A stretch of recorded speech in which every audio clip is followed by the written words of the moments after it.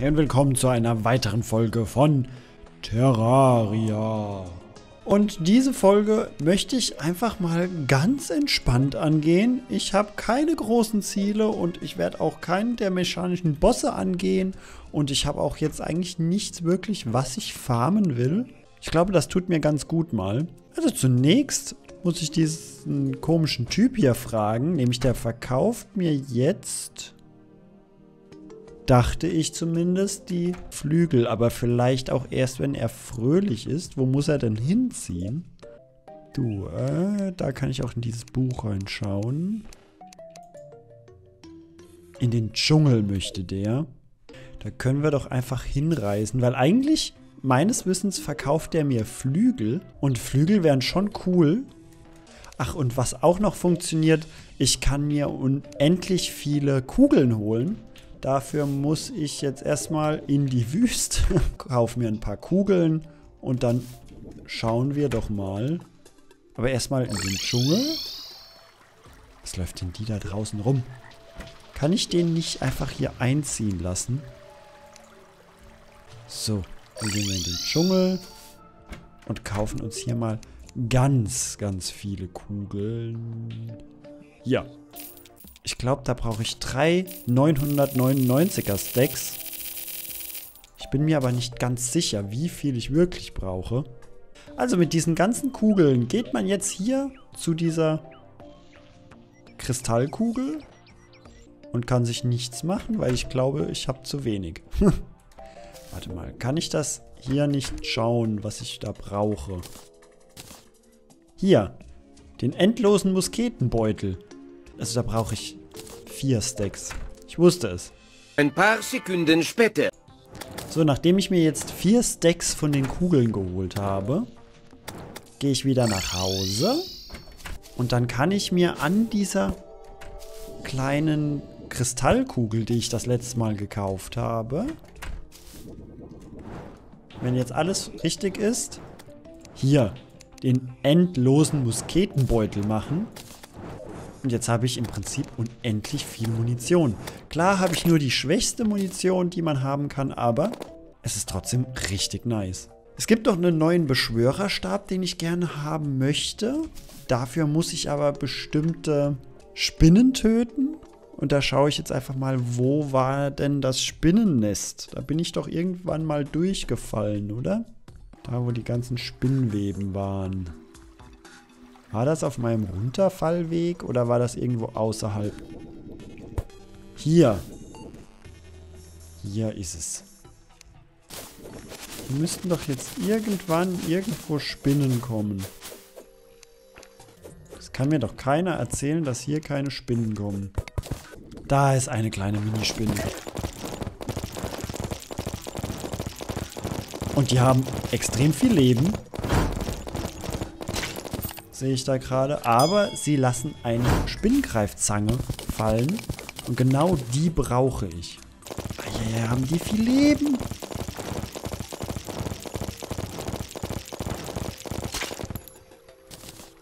Die sehen ja auch richtig ekelhaft aus. Man könnte jetzt argumentieren, guck mal, was der für viel Munition verschießt und so. Oh, die hat viel Schaden gemacht. Aber ich möchte es einfach wirklich mal ausprobieren, ob der Sack das hält, was er verspricht. Oh. Machen die viel Schaden. Und die haben auch 1050 Leben. Und die schießen irgendwas. Ach so.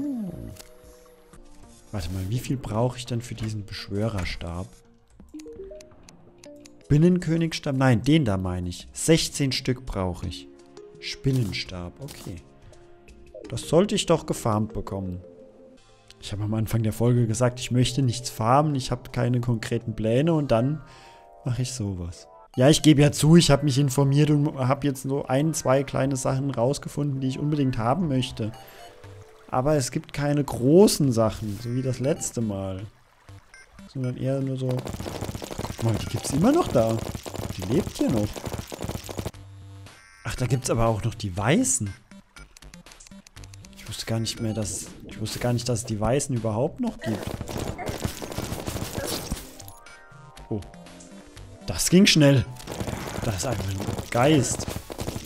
Was macht denn der hier? Ach, weil ich meinen Grabstein abgebaut habe. Klar, dass ich den nicht kenne.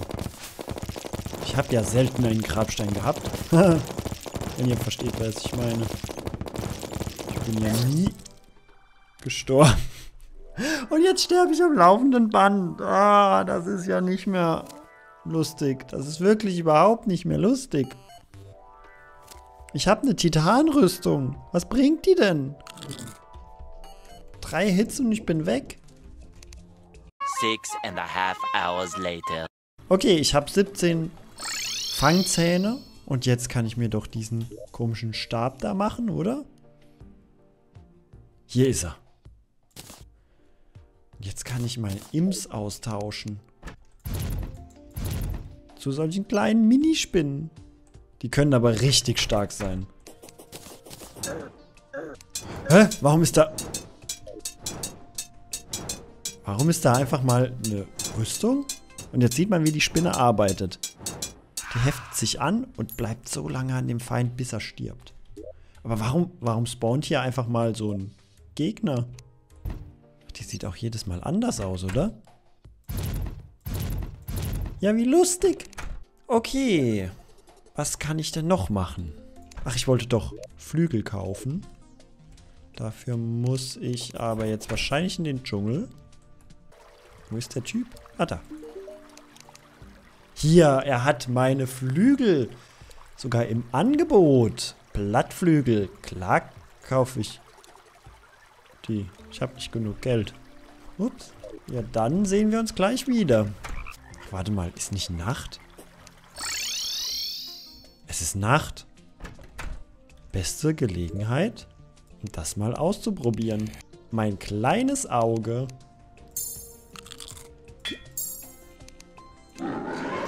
Komm du mal her. Bin ich mal gespannt, wie schnell ich das kaputt bekomme. Dann, guck mal.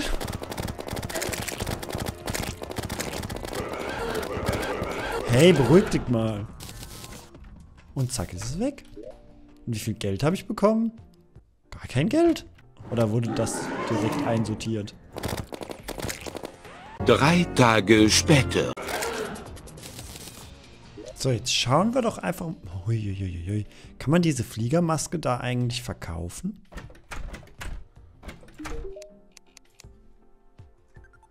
Oh ja, für ein Gold.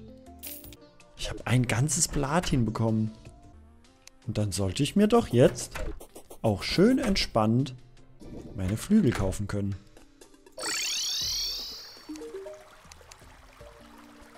Da sind sie. Woo. Und dann fliege ich doch jetzt einfach mal nach Hause und verzauber die mit Verteidigung 4.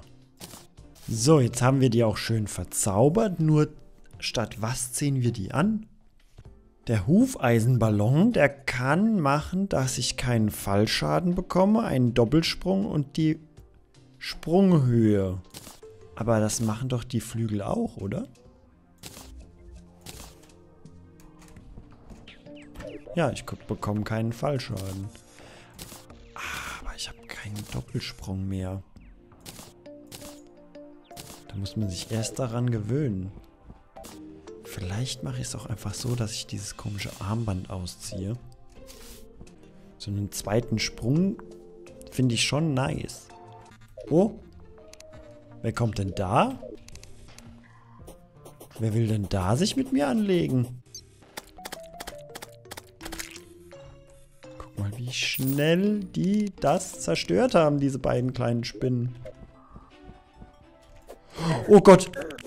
Wow. Ich wusste, dass es die gibt. Aber ich dachte nicht, dass der jetzt schon kommt.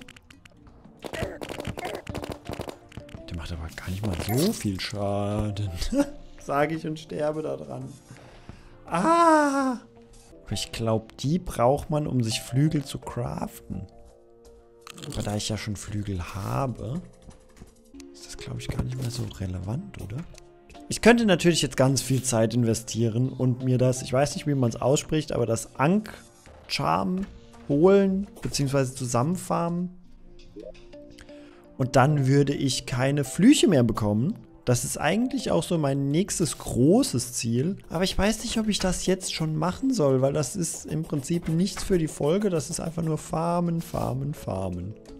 Ich könnte mir noch die Map ein bisschen anschauen und schauen, was für Gegner es gibt und mich so ein bisschen rantasten. Dafür zoome ich jetzt auch mal ein bisschen raus. Und dann laufe ich doch jetzt einfach mal über die Map und schaue mir die Gegend so ein bisschen an was es so an Gegner gibt. Ach, guck mal. Eine Mumie. Wurde die... Wurde die vergiftet? Habt ihr auch gesehen, dass die auf einmal lila war? Komm, greift an. Die wird vergiftet. Wie krass cool sind denn diese Spinnen? Ich denke, ich hole mir jetzt auch mal den Wurmboss nochmal, um den einfach nochmal zu bekämpfen. Sollte ja eigentlich auch nicht allzu schwer sein. So wenig Probleme, wie ich mit dem Auge hatte.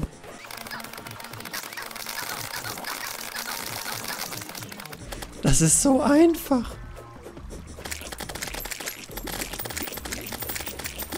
Der kommt noch nicht mal an mich und stirbt schon.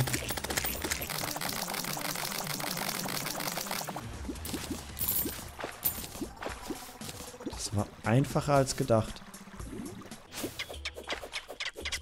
Du für ein schönes Viech? Du kommst da ja relativ häufig vor hier. Ach, da ist so eine Schildkröte.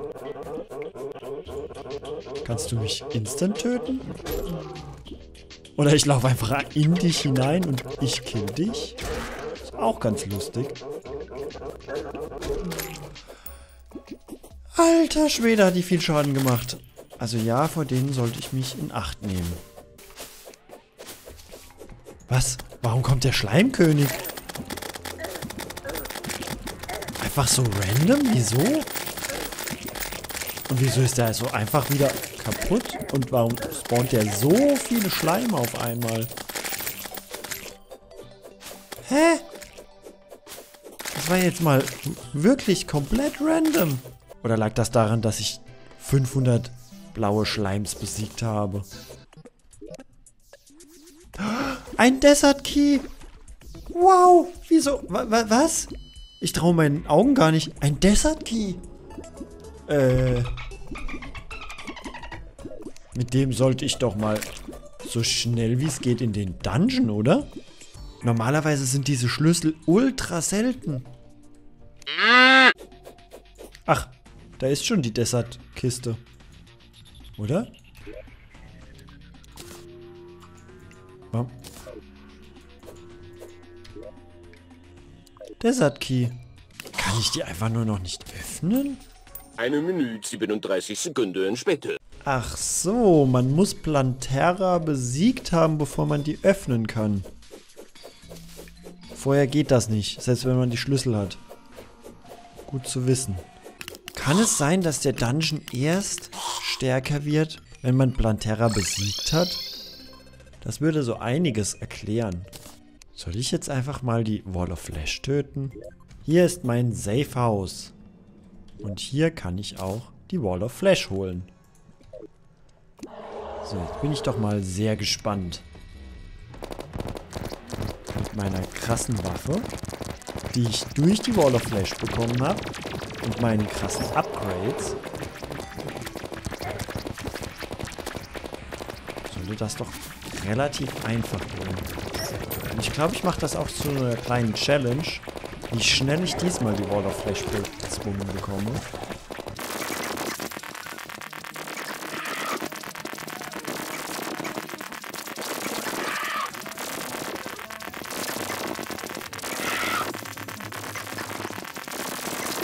Ich habe die gleich kaputt und ich bin noch lange nicht dort, wo ich das letzte Mal sie erst bezwungen habe.